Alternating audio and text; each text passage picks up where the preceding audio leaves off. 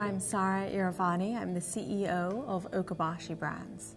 We manufacture footwear. We're proud to be part of the remaining 1% of US footwear manufacturers. For us in particular, the R&D tax credit has been something that has really benefited us. As we really look to bring more manufacturing back to the US, the way that we're able to do it is by developing novel materials, novel manufacturing processes, and the R&D tax credits make this all the more viable.